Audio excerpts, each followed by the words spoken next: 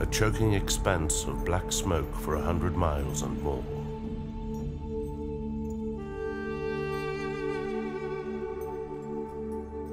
No sun. No light. As dark as the blackest night. 788 oil wells destroyed. 613 wellheads belching bright orange flame, burning out of control.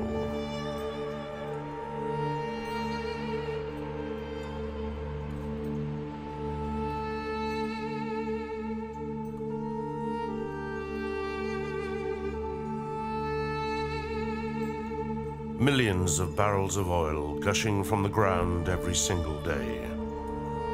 Enough to keep the fires of hell raging for another 50 years. Sarah Akbar of the Kuwaiti Wild Well Killers.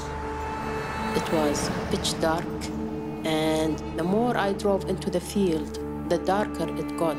I have never thought of this kind of darkness because the smoke made the air completely transparent. This was Kuwait in 1991, victim of the worst act of environmental destruction in human history.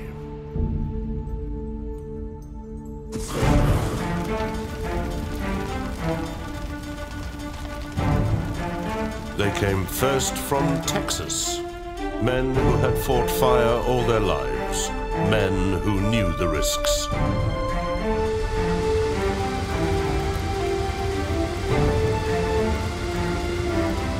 Campbell of Wild Well Control. Even all of us that had worked on well fires and blowouts our whole life, no one ever saw hundreds of wells burning at the same time.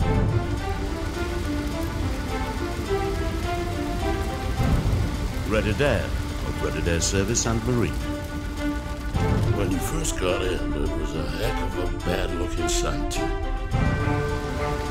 At first, their experience told them that it would take five to seven years to extinguish all the fires.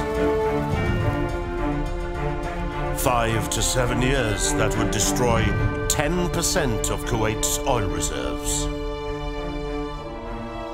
Years of contaminated water. Of choking black smoke and darkness. Years of hell.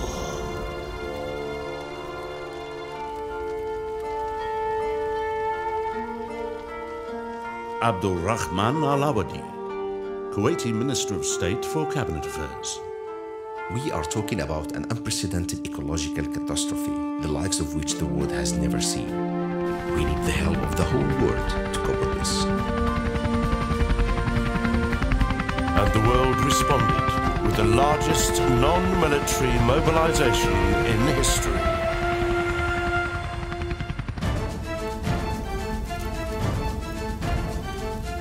The Americans were soon joined by Canadians, Hungarians, Britons, Chinese, men of every nationality that had ever known this kind of fire. The Kuwaiti wild well killers astonished observers with their work rate and fearlessness. Bulldozers piled desert sand, layer upon layer, into blazing pools of oil, one road leading to every fire. The kind of fire that could raise air temperatures so high that the sand melted into streams of flowing glass. Now they needed water to cool both men and equipment.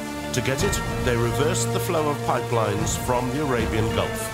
Where crude oil once flowed to the sea, water now flowed in the opposite direction. Millions of gallons, pumped in constant streams over every wellhead, every machine, and every worker. Cooling them just enough to begin the task of removing twisted metal debris from around the well so it was safer to start fighting the fire. Water keeps you from boiling inside your protective suit. You're sweating out more than a liter of water an hour, and the only shelter is a tin shed. Tin absorbs heat, enough to provide a few moments relief. That was enough to keep the fuel tanks on the bulldozers from exploding. There are many ways to kill an oil fire, and every fire is different. You can ram steel tubes down through the flames and inject mud to block the gusher. You can suspend a hollow tube to lift the flame up for a split second and disconnect it from the oil. Or you can pour in enough water to drown the flames, like the Hungarian team that mounted MiG jet engines on a Soviet tank to blast water at the fire.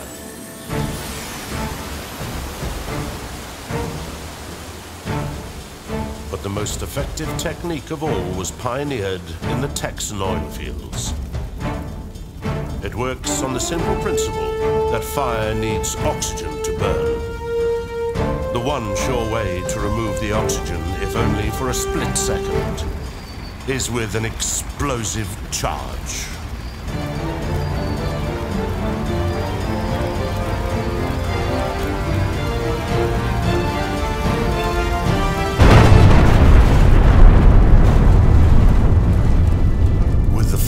Extinguished, oil continued to spew from the earth at more than 1,200 kilometers an hour. This was when the danger was at its greatest. A single spark could reignite the inferno.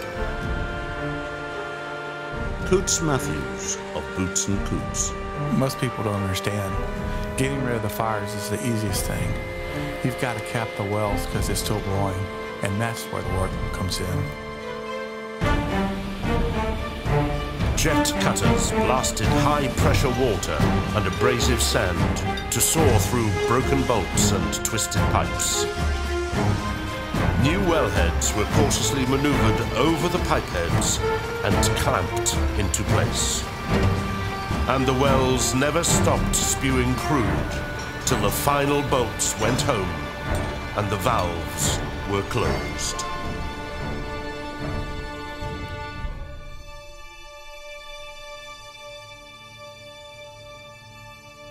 Mike Foreman of Boots and Coots.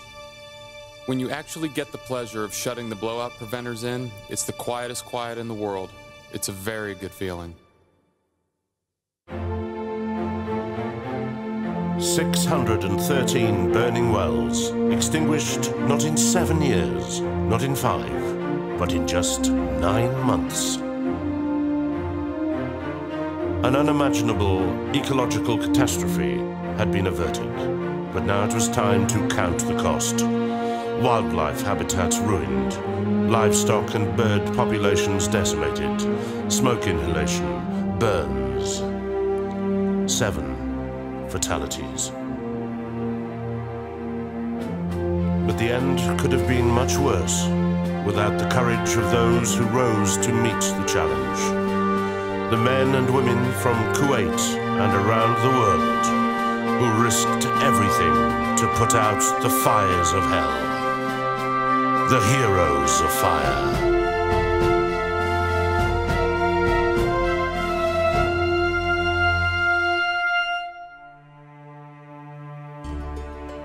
Sarah Akbar.